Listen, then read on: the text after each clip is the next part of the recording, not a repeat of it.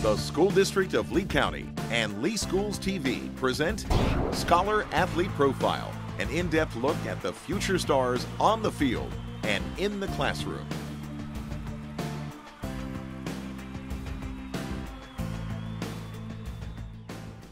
Okay, McKenna, when did you first start playing organized sports?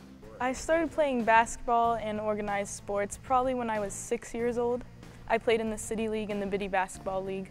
Tell me about the person or persons that have influenced you so far this, this, this part of your career. Um, probably my dad and my brother. My brother, um, he was always around his friends and he always let me be around his friends too.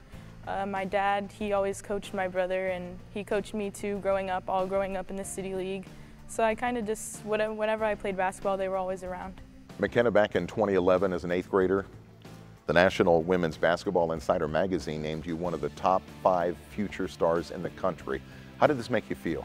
Um, I was really excited. I didn't know really where I stood. Um, no one had ever really watched me before and we went to a tournament and after that, that came out and I was just excited. My parents were excited for me and it just made me want to get even better to keep that up.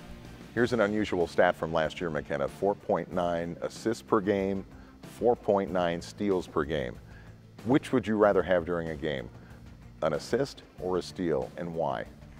I don't know. I think both are pretty important. They all, everyone always says defense wins games, so in that aspect, steals would be better. But um, in order to score, you need assists. You need to help people get open shots. So I think that's important too. Tell me about your most memorable game. You remember who the opponent was and what happened? Um, my most memorable game was probably when I was in eighth grade. We were playing the number two team in the nation, the Georgia Pistols in AAU and there was about three seconds left and I went coast to coast and scored a layup for us to win the game. So coast to coast, you mean from one end of the court mm -hmm. to the mm-hmm. other. mm -hmm. McKenna, does the thought of playing in the WNBA ever cross your mind? Um, sometimes. People always ask me and right now I don't know. I don't know where I'll be in four years. I mean, if it's an option, then I'd definitely like to do that. If you could, what's the one thing that you would change about McKenna Beach? Just one. I'd be taller. Definitely. McKenna, tell me about where we'll find you in five years from now. What will LinkedIn say in about McKenna Beach?